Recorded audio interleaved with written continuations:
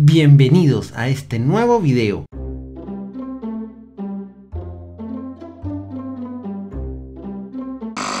La empresa Adobe anunció que a partir del 31 de diciembre de 2020 la aplicación Flash Player no tendrá más soporte. Y muchos de ustedes me habían pedido que hiciera un video al respecto, pero yo estaba esperando alguna otra noticia para complementarlo. Y esta semana llegó. Microsoft anunció que Windows 10 a partir del 2021 tendrá una actualización que eliminará Flash de las computadoras con Windows 10. El día de hoy vamos a hablar de este popular software Flash Player, vamos a conocer su historia, vamos a entender por qué terminó muriendo y vamos a explicar por qué la decisión drástica de sacar una actualización para directamente eliminarlo. Les presento la muerte de Flash.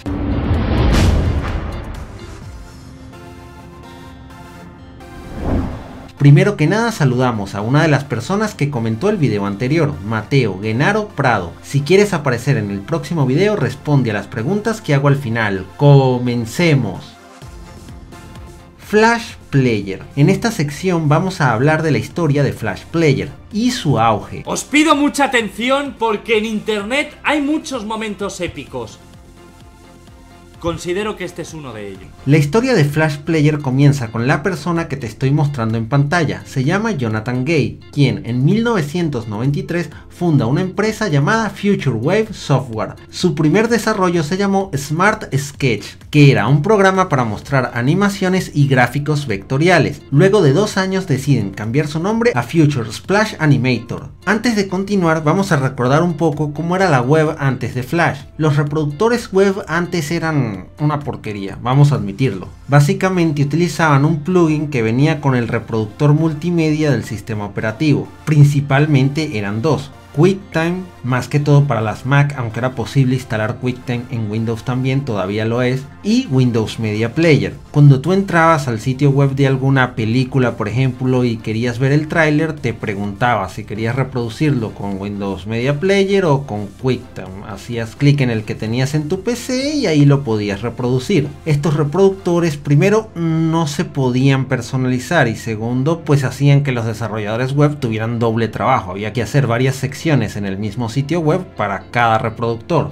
Luego llega Flash, que funcionaba de igual forma en cualquier sistema operativo y permitía crear reproductores personalizados que iban en sintonía con el diseño de la página web. Por lo tanto, el software se convirtió en todo un éxito. En el año 1996, al ver el auge del software, la empresa Macromedia lo ve y dice: Es bellísimo por lo que adquieren Future Wave Software para luego renombrar Future Splash Animator como Flash. Su auge fue masivo ya que llegó un punto en el que la mayoría de los navegadores lo tenían, incluso los fabricantes de computadores lo preinstalaban. YouTube ayudó mucho a que se popularizara, aunque literalmente estaba en todos lados, hasta los anuncios web lo tenían. En el año 2005 la empresa Adobe adquiere Macromedia y este pasa a llamarse Adobe Flash. Flash a todos nosotros nos trae muy buenos recuerdos. Por ejemplo, minijuegos.com o cartoonnetworkla.com, que por cierto, ambos sitios web siguen operativos. También es bueno mencionar que Flash tenía un hermano menos conocido llamado Shockwave Player. Si quieren conocer más o menos la diferencia, pues me lo dejan en los comentarios y yo podría hacer un video. Pensamientos sobre Flash. Este fue el título de una carta abierta publicada por Steve Jobs en el sitio web oficial de Apple. Todo comenzó con el lanzamiento de los iPhone y de los iPad. Estos no tenían soporte para Adobe Flash. Y la empresa Adobe estaba más que dispuesta a crear una versión para iOS, el sistema operativo, pero Steve Jobs les respondió. No, gracias. En esta carta abierta, el que fuera CEO de Apple detalla una serie de argumentos por los cuales no iban a darle soporte a la tecnología de Adobe. Vamos a verlos rápidamente sobre todo los más importantes. Lo primero que Jobs dijo es que Flash era cerrado. Y sí, seguramente estás pensando. Es lo último en bromas ya que Apple es la empresa más cerrada de todas. Pero luego en la misma carta Jobs admite que también lo son, pero argumentan que la web sí debe ser abierta y sus estándares no pueden ser controlados por nadie. También habló de la seguridad y de la estabilidad en móviles. Empresas de antivirus como Symantec habían alertado de las muchas vulnerabilidades que tenía el programa. También las versiones para móviles que había sacado Adobe no funcionaban del todo bien.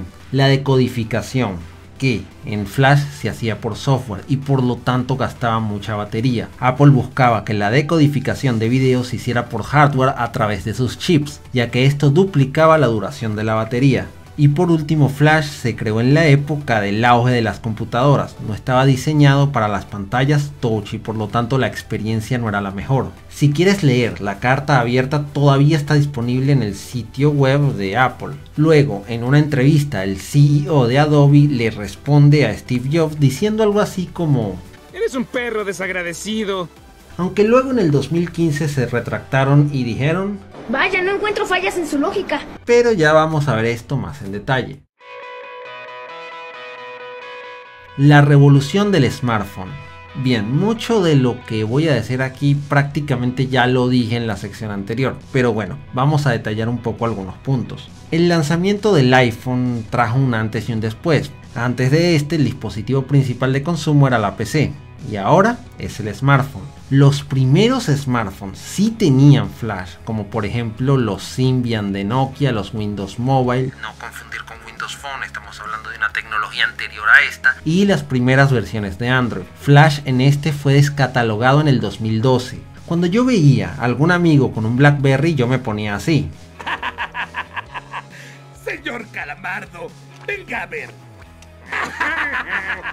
ya que me burlaba porque sus teléfonos no tenían flash y mi Nokia E71 de la época sí. Conforme el iPhone se fue popularizando y los estándares abiertos como HTML5 y CSS3 fueron siendo adoptados por los desarrolladores, la cuota de uso de flash fue disminuyendo más rápido que polvo de conejo. La muerte de Flash. Bien, ahora vamos a responder la pregunta principal. ¿Por qué murió?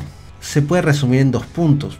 Primero los problemas de seguridad. Vamos a poner un ejemplo. La empresa Cimatec, fabricante del famoso antivirus Norton, en 2009 dijo que tenía uno de los peores récords en materia de seguridad. Y la segunda razón es algo que ya dije. Flash fue creado en la época de los PCs. Así que realmente los argumentos de Steve Jobs eran ciertos. Desde el 2010 Flash tuvo una debacle sin precedentes, pero Adobe no se pronunció sino hasta 2015, cuando todos dijimos Al fin diste la cara, mal nacido. Y en una entrada de su blog instaron a los desarrolladores a dejar de crear aplicaciones Flash. Luego cambiaron el nombre de su software Flash Profesional, no confundir con Flash Player. Flash Player era el plugin que instalabas en tu navegador y con el cual reproducías el contenido Flash. Flash Profesional era el programa con el que creabas los contenidos. Este no era gratis como el plugin. Le cambiaron el nombre a Adobe Animate para quitarle un poco de mala publicidad de Flash.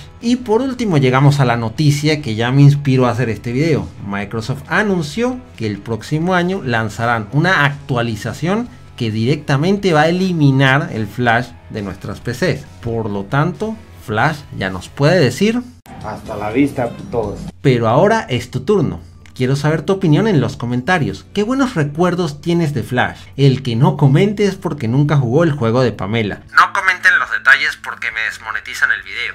En pantalla te dejo dos videos que también te van a encantar. Primero, ¿por qué Windows Phone murió? Ya que hablamos de tecnologías muertas, pues me imagino que tienes la duda de por qué esta murió. Y el otro titulado, ¿qué hace BlackBerry ahora? Para los que crean que la empresa de celulares murió, no, ahorita se dedica a otras cosas y en ese video te explico que si quieres aparecer en los créditos y mirar los videos antes de tiempo, únete a miembros aquí en YouTube. Los enlaces a mi Instagram, los enlaces a mi Instagram, Twitter y canal de Telegram están en la descripción. Yo me llamo Giovanni y gracias por pasarte por mi canal.